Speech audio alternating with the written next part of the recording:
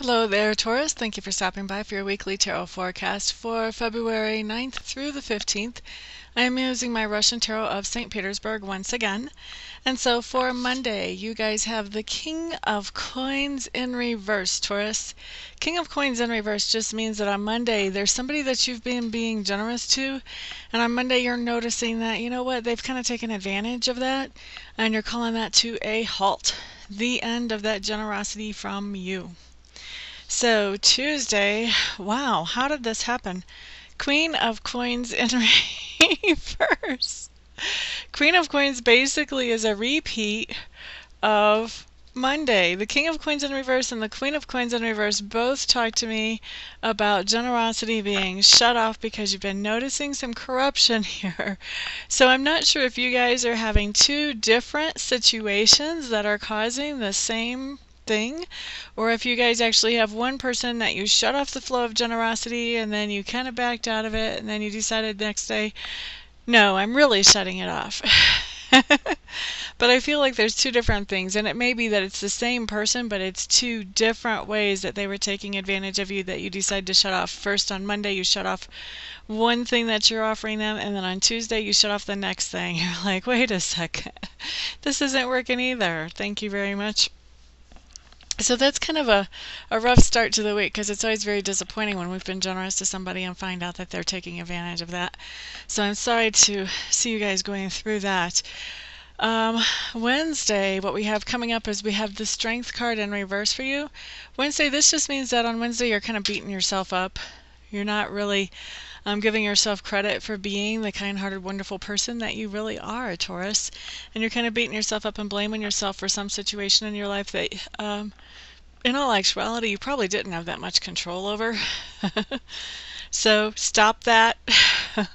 doesn't pay to beat yourself up. It never helps you. It never helps your neighbor. Never helps anybody else that you deal with. Don't do that. Just learn your lesson and move forward and don't make the same mistake again. It's all good. Beating yourself up is no better than letting somebody else beat you up. It just is terrible. I was going to say something else, but then I would have to say excuse my language, so I won't use that word on camera.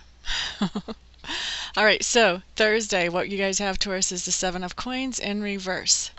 So this just means that you have a situation that you actually originated or began with the idea that there would be some kind of payout that would come back to you once this situation came into maturity.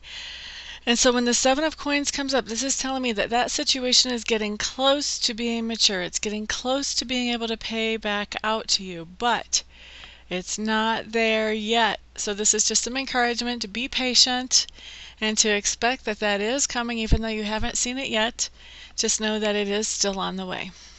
Okay, so Friday, Ace of Clubs for you Tauruses.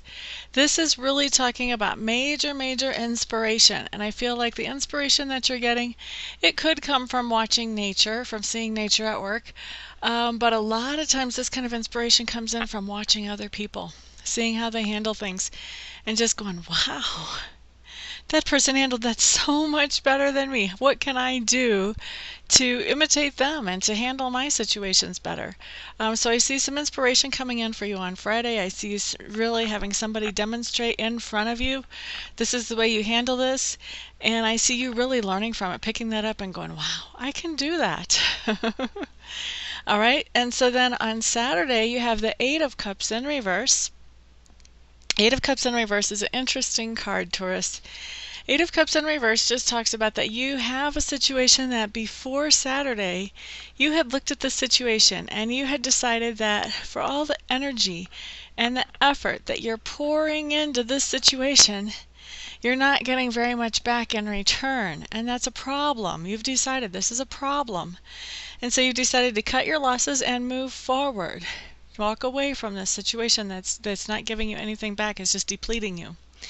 Well, when this card comes up on Saturday, this is telling me that that situation that you walked away from, guess what you're doing on Saturday? You're turning right back around and you're marching right back into it. Don't ask me why. I don't know why. but that's what I see you doing on Saturday, Taurus. Now, Sunday, Three of Swords in reverse. Looks like your decision of Saturday could be good because Three of Swords in reverse is talking about getting some healing.